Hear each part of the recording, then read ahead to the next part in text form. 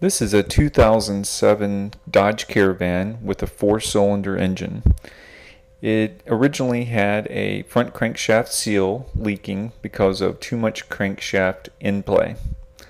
There's a couple of articles at DenLors Tools Autoblog uh, talking about the crankshaft in play causing that seal to fail and another article on the replacement of this engine.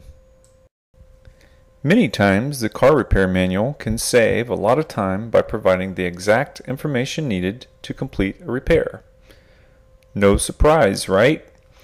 On the other hand, an experienced auto technician can read the repair information or at least be aware of how it outlines a certain procedure and then decide if that's the quickest way to approach the job or not.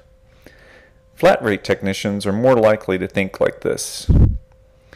Cutting corners doesn't have to mean shoddy workmanship. Being able to change this motor from the top with an engine hoist means that it can be changed without a vehicle lift. As you've seen in this stop motion video, the job that normally takes 13.9 hours book time was done in just 6 hours. For more information, visit DenLor's Auto blog.